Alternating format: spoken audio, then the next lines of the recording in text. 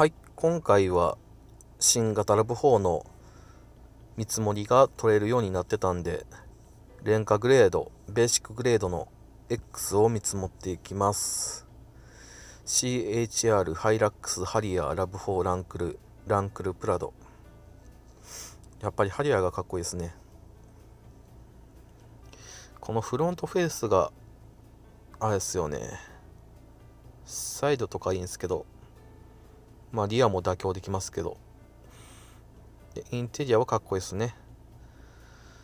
結構収納スペースもあっていいですね。で鉱石は、まあ、川口学さんが乗ってらっしゃいましたけどあのおっさんあのおっちゃん何センチあるんですか知らないですけどあまり広くなかったですね。で人気順。一番人気がアドベンチャー。あ2.0のガソリン車の駆動が4駆でも人気あるんですね。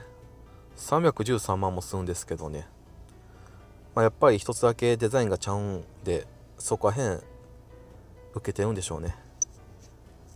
で安い順で一番安いのが X 燃費が15.8まあこれは WLTC モードなんで JC08 やったら18か19ぐらいあったんじゃないですかね。で総排気量は2.0で駆動が4あ肉。前輪駆動の肉ですね。で5名乗車。やっぱりガセネタだったのか知らないですけど3列シート6人7人乗車バージョンってないですよね全部2列シートの5人乗車ですよね。で260万。最初は普通に見積もってってで最後の方にメイクアップションディーラーオプションなしで処刑引込みの最低いくらあれば買えるのかっていうのを検証していきます。でボディカラーがホワイトとブラックとグレーとシルバーと赤と紺色。とりあえず普通に見積もっていきたいんでホワイトにします。メガウェブの方でもエクステリアの方しか撮影できなかったんですね。今日明日ぐらいにインテリアの方も撮影できるんですかね。まあ自分も近くのディーラーに置いてたら撮影しますけど遠出してまで撮るお金もないですし他の人は動画上げるんで。で内装に関してはレザーが選べないんですね。グレーかブラックのファブリックシートの選択になってるんでブラックのファブリックにします。あったかみがあってふわふわしててファブリックシートの方がいいですからね。でナビ。トヨタってなんで8インチの純正ナビがないんでしょうかね。9インチの T コネクト。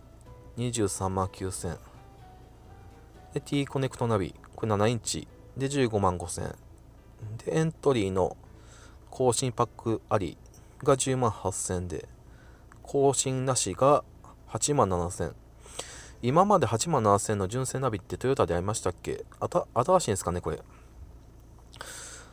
数が少ないですね。1234 4つしかない。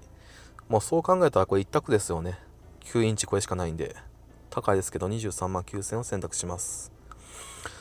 ナビをつけないと本当に値引きが一気に渋くなるんでつけておいた方がいいですね。でオーディオはもうなしでナビをつけたんでつけないですよね。もうナビとかなくても本当にスマホの方が情報が速くてもう自動的に更新してくれてますからね。こんな更新ありをわざわざ買わなくても。バグってるのか。遅いですね。画面出てくるの。一応 Wi-Fi ではなくて 4G の方で収録してるんですけどね。ETC2.0 ビュートイン1万4000 1万安いのを選択します。で ETC が終わってナビオプション。ナビ電動の別体型。6万2000まあこれしかないですかね確か。これを選択します。あまりオプションつけないと値引きなしで落とされそうなんで。でもうナビと ETC つけたんで。あとダイエコつけたんでいいですね。で次がカラー終わってナビオーディオ終わってメーカーオプション。廉価でメーカーオプションって言うてもなんすかねツインムーンルーフとかそんなんでしたっけ？ツインルーフとか。スペアタイヤ。エクステリアスペアタイヤだけ。あチルトのムーンルーフありますけど。こんなんつけたら天井が余計低くなるんでつけなくていいですね。最初はテンション上がりますけどだんだんどうでもよくなってくるようなオプションなんでつける必要はないと思います。もうそれだったらこのコンセントの方がどれだけいいか。でセーフティー。まあ廉価でも次世代次世代型のセーフティーセンスついてるんで十分ですけどね。でこれは透かして見えるミレミラーですね。でインテリジェンス全身の誤発信の育成機能。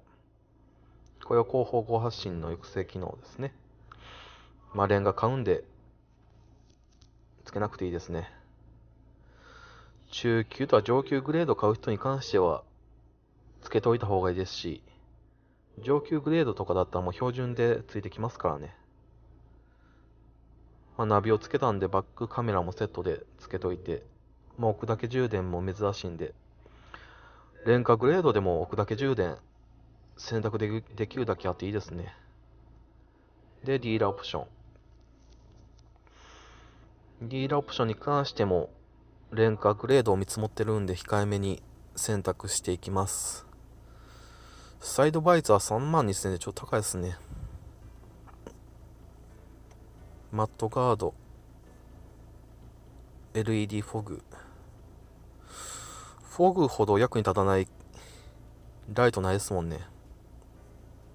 もうフォグとかなかったもいいですからね。で、ここら辺もいらなくて、プロテクションフィルムとかもいらないですね。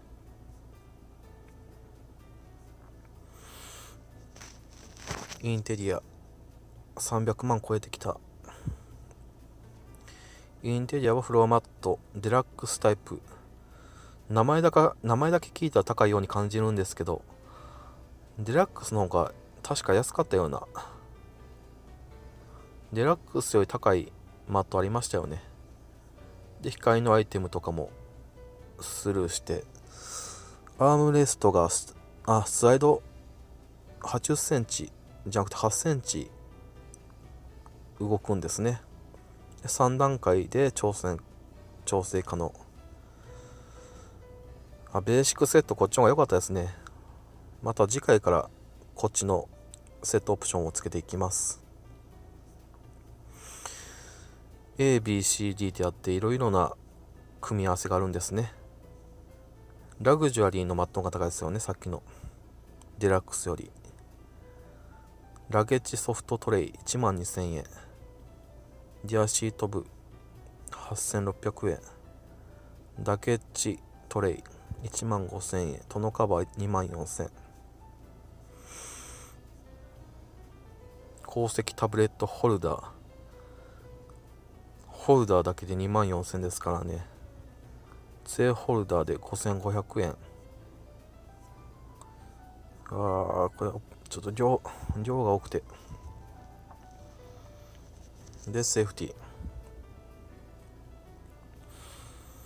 セーフティーっても言っても、ナンバーフレームのセットとボルト関係なんで、で、エレクトロニクス。まあ、廉価グレードも人気あるんで、このグレードの X を購入する方も多いでしょうね。ここら辺ももうエンジンスターターとかフォグ関係なんで無視して見積もり結果。で普通に見積もった結果331万2817円やっぱり9インチのナビをつけたのはでかいですね、まあ、9インチのナビを外してスマホでいいっていう方に関してはあとマットとかバイザーもいらないという方に関しては300万で買えそうですね。車両価格が260万でメーカーオプションは8万1000でディーラーオプションが37万2000で諸経費は25万1000で免税減税一切なしということですね。では一旦戻って OK してリセットをして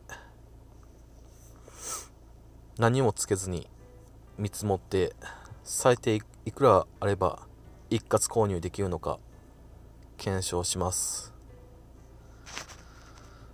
さっきの金額見た限りに300万前後やっぱり300万切りますかね。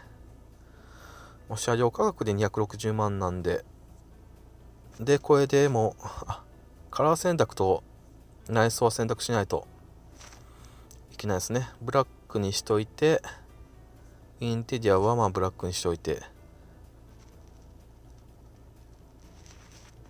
よいしょ。